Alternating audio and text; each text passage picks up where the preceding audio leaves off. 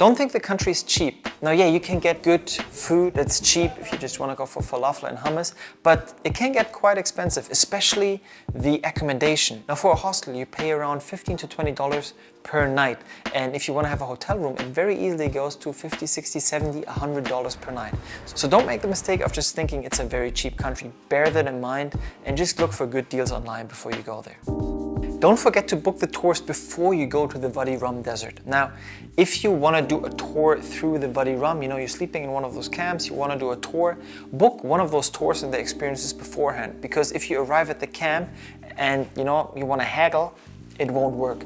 Do that before, see where they have the best prices. Maybe, you know, get together with some people, do together. That will pull down the price.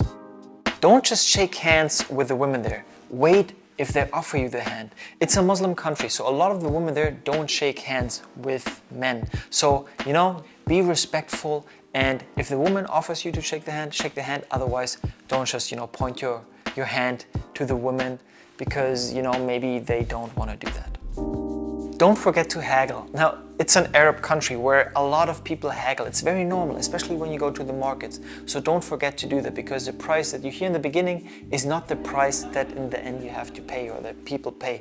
It's normal, you know, to haggle and, and, and talk about the price. Now, one tip I can give you is to speak to locals and ask them, maybe your guide or the hotel, you know, like, I want to buy this scarf at the market. How much should I pay? What's normal? Because then you have an idea of, you know, going to the market of how much it should cost and you know how much you can haggle. Don't try diving in the Dead Sea. Now it's very salty and diving is not possible because of the buoyancy. It's it's 34% salt which just will make your eyes burn when you try to dive into it. How do I know? I tried it. Not a good idea, so don't do that. Another thing is to be careful, you know, when you shave before, because um, all these little wounds, you know, when you go in the Dead Sea, the salt will come in and it will burn like crazy. Don't shave before, don't try to dive. Otherwise, just enjoy floating in the Dead Sea. Don't think Jordan is just desert and hot. Now, it is desert and it can get hot, but also it can get quite cold, especially in the desert at night. So bring something warm. And there's other places. There's even areas where it snows. So just keep that in mind. There's a lot of variety. You know, the Red Sea with beautiful beaches, the desert, of course, some mountains, um, lush and nice canyons. So much to see a lot of variety, not just desert and super hot.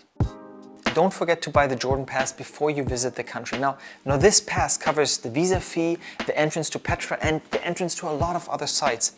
A lot of people think you can get the Jordan Pass at the airport, but that's wrong. You have to get it before. So don't make that mistake. Don't fall for the scams, especially at Petra. There's a lot of tourists coming, and when there's a lot of tourists, you know, people sometimes try to scam them. Let's just say it how it is, unfortunately. And one of those scams is the horseback rides. Now, it will say on your ticket that the horseback rides are included, and they technically are, but the people will expect a hefty tip, so I recommend you not to do it. Plus, it's just a short walk anyways.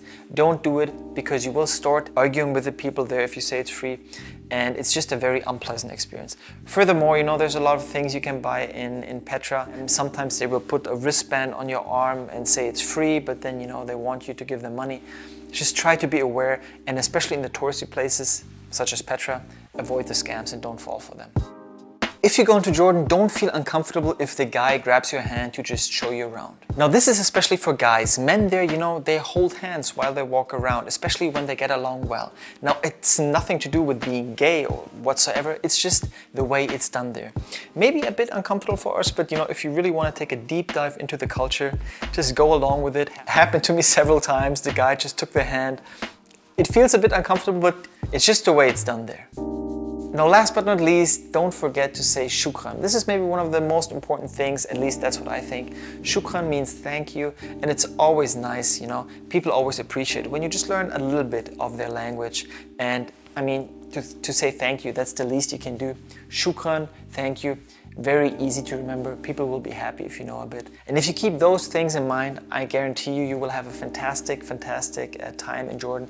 It's a beautiful country. So just don't do these 10 things and you will have a fine and fantastic time.